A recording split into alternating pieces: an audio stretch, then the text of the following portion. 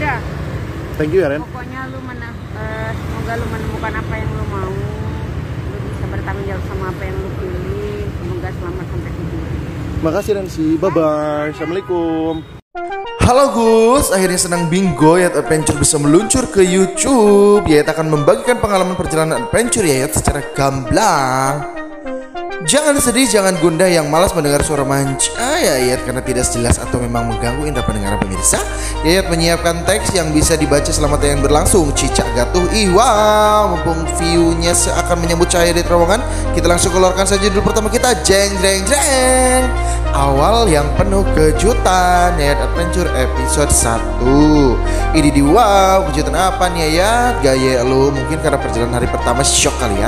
Tapi alangkah baiknya kita mulai saja ikuti perjalanan yang lumayan panjang ini Yuk Oke judul hilang dulu dong. Cuing cuing cuing cuing cim Oke, nah Gus barusan adalah underpass bola kapal yang baru digunakan awal tahun 2022 ini. Pembangunan ini dimulai dari September 2021 kurang lebih satu tahun lebih dikit ya. Biasanya di perempatan bola kapal ini macet total, tapi setelah ada underpass ini jalanannya lancar jaya. Underpass bola kapal ini terletak di Bekasi tentunya. Kalau dari Jakarta, sesudah stasiun Bekasi atau terminal Bekasi menuju ke Tambun. Aduh, lama bener tuh menuju ke Gapura selamat datang. Biar tahu kita baru sampai mana. Selamat jalan Kota Bekasi cerdas, kreatif, maju, sejahtera dan ihsan.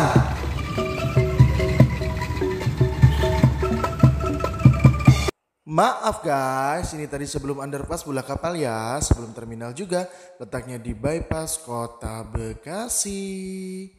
Wih, Targetnya Cirebon dulu atau Semarang lah. Jam 10 istirahat sejenak di Masjid Bagus di tengah sawah. Nanti di spill ya di judul yang lain. Masjid Jami Anwar Tanjung Pura Karawang. Sakit pinggang, cari uang sampai harus banting tulang. Oke jam setengah satu istirahat di Subang. Kemudian karena lapar tapi belum sempat cari warung nasi, jadi beli somai dulu harganya cuma 7000 ribu. Coba bayangkan pemirsa, ini jalan, ini di Indramayu ya. Dan pinggirnya itu laut. Laut. Laut. Istirahat di pom sambil ngisi bensin yang kedua. Pertamanya ini dikira Gunung Selamat, tapi ternyata Gunung Cireme. Udah mulai ke daerah Jawa, shock banget beli Nutrisari gula asam hanya 1.500 rupiah. Bushel. Sayang banget tadi aku belum lihat, belum sempat di perbatasan Cirebon. Langsung aja di kawasan wisata Trusmi Sentral Batik Cirebon. Oh, Kawasan Batik. Pos Pleret, my god. Nih di depan ada pilihan. Jakarta kiri, Jateng kanan. Oke, kita ke Jawa Tengah. Lanjut atuh Baru aja menempuh perjalanan 240 kilometeran Ya Allah Yuk semangat yuk Nah setelah aku membuka pertanyaan ini Ternyata ini adalah PLTU Cirebon Pembangkit listrik tenaga uap Dipastikan ini akurat karena narasumbernya adalah tetangga terdekatnya Selamat jalan lagi nih. Wah, ini tadi kayaknya yang tadi selamat jalan kota Kabupaten Kota Cirebon ini. Kabupaten Cirebon. Siap-siap nih kayaknya nih mau perbatasan sama Brebes. Jawa Tengah. Jawa Barat ke Jawa Tengah. Oh my god, oh my god, oh my god, oh my god, selamat jalan Jawa Barat katanya. Nih. selamat jalan Jawa Barat. Jawa Barat yang nggak ada. Oh my god, oh my god, oh my god, oh my god, oh my god. Ah, ah, Jawa Tengah ya, Jawa Tengah ya. Ah, Jawa Tengah. Ah, Pos polisi Ciyang, Cisanggaru, Polres Brebes. Selamat Jawa Tengah. Halo Brebes. Tuh, selamat datang di Kabupaten Brebes. Ayo kita lihat ke sana. ya Allah. Tuh ke Tegal, ke Ciledug, Bojong Sari, Limbangan, Karangdempel, dan Istana Tegal. Yeay, aku nyampe di Masjid At-Taqwa Bulukan Mbak Brebes. Di sini aku nyampe jam 17.45-an dan maghrib itu 17.30-an. Jadi ini udah waktu maghrib dan aku sampai isya di sini. Tadinya aku mau beristirahat hari pertama di Brebes, tetapi karena aku cetan dengan temanku yang ada di Kudus, katanya ke Kudus hanya 5 jaman lagi. Dan akhirnya aku nekat untuk pergi ke Kudus malam ini. Setelah sholat isya aku melanjutkan perjalanan nyampe di Tegal jam 19.35. Tegal. Selamat datang di Tegal Kota Bahari. Mantap. Nyampe Pemalang jam 20.24 Wah, Pemalang. Gak kelihatan ya? Pemalang, Pemalang, Pemalang. Ah, ini Pemalang ya. Nah di sini lagi ngantuk-ngantuknya gas, sumpah Aduh, perjalanan ya. sangat Maaf ya. slow motion. Kendal 65, Semarang. Ah, Kudus. Kudus kok lebih jauh?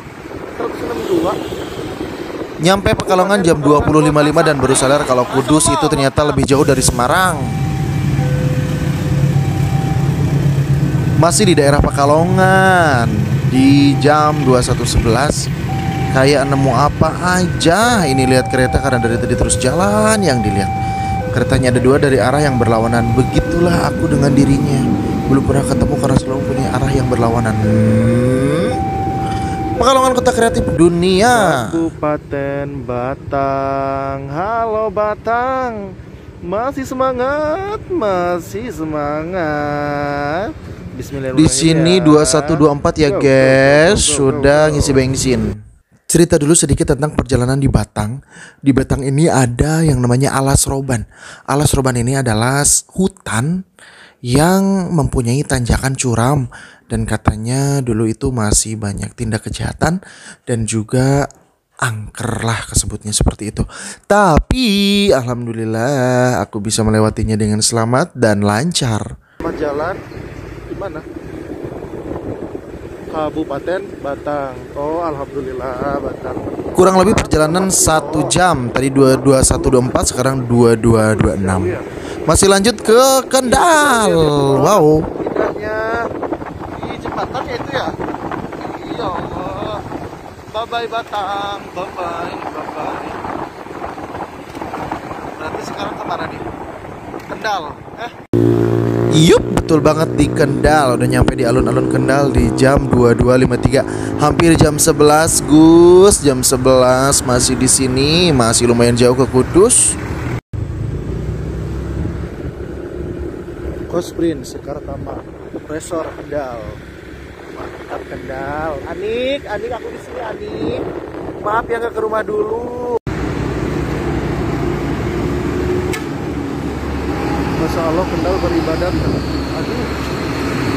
Kendal beribadat mana tuh? Aduh, tonton. Ya Allah, Kendal beribadat pokoknya. Ngantuk. Tapi perjalanan masih harus dijalani jadi solusinya adalah minum per Floridina. Floridina akan menambah semangat untuk tidak ngantuk lagi.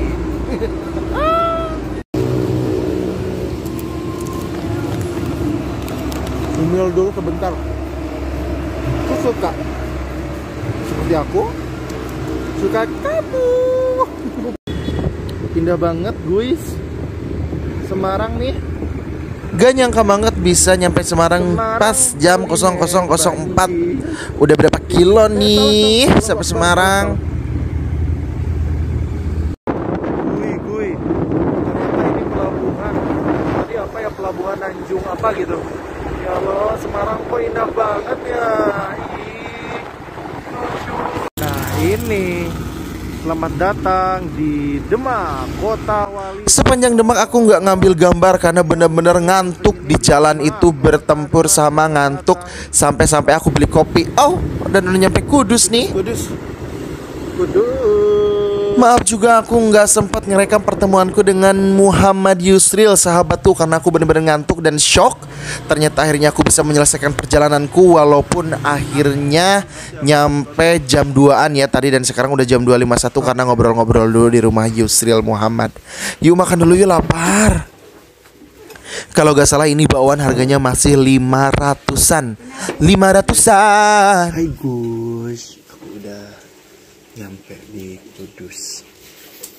Penyakitku suka malu-malu kuceng Akhirnya setelah seharian tidak makan, Maksudnya makan besar ya, makan nasi guys. enak. Mbak Bang, mau deh. Lodehnya ada telur sama tahu. Ini apa? Apa? Bung. Tabung. Tadi warungnya udah di spill dan ini di Kudus ternyata bersama Bibit. Nama aslinya Muhammad Yusril ya guys. Kisaran harga dari nasi lodeh ini adalah 6.000 sampai 8.000-an. Kenapa? Karena aku nambah satu kali, kemudian Yusril satu berarti tiga. Kemudian bala-balanya hampir habis sepuluhan lah. Ada es teh dua, cuman 32.000 aja. Assalamualaikum. Nah, sekarang Yayat mau ke Jalan Menara di Kudus. Apa? Ini teh jarah apa? Tempatnya Sunan Kudus, masya Allah. Nah, mau ziarah ke Sunan Kudus jam segini pemirsa. Alhamdulillah. Aku tadi pengen ziarah kataku langsung dianterin sama teman aku. Tuh. Kita nanti lihat ke dalamnya ya. Harus beli bunga itu nggak sih? Harus beli bunga nggak? Sesudah makan sekitaran jam 3.40an aku minta Yusril untuk menemaniku ke Sunan Kudus karena keburu di Kudus kan walaupun malam tapi aku penasaran dan alhamdulillah Yusril mau mengantarnya. Hmm. Nah, aku dipoto kan di pintunya tapi sayang banget ya karena sudah malam jadi sudah tutup tapi nggak apa-apa. Setidaknya aku bisa menginjakan kaki di Sunan Kudus ini. Semoga nanti bisa ke sini lagi ya buat ziarah. Makasih Yusril sudah mengantarkanku di Kudus. Wow, tuh simpang tujuh Kudus. Wow, ini alun-alun Kudus ya. Oh, subuh-subuh diajak jalan-jalan sama Jidim Bidit penguasa Kudus. Alhamdulillah perjalananku hari pertama menempuh perjalanan sepanjang 539 km ditempuh dengan 13 jam 2 menit tapi karena aku banyak berhenti dan ini ono ini ini kucrut jadi nyampe nya subuh jam 4 Jeng jeng, pengeluaranku hari pertama bensin 50.000 dikali 2 jadi 100.000 kemudian di Batang juga ditambah lagi 30.000 jadi 130.000 untuk bensin dan sisanya jajan sama makan ringan paling cuman 200 ribuan untuk hari pertama ya. Ki Oke baik, thank you banget udah ngikutin perjalanan satu hari ini. Bersambung ke episode 2 ya. Masih di Kudus. Alhamdulillah aku istirahat di rumah Yusril. Assalamualaikum. Kita ketemu lagi di episode 2 Yayat Adventure. Uh, uh, uh, uh.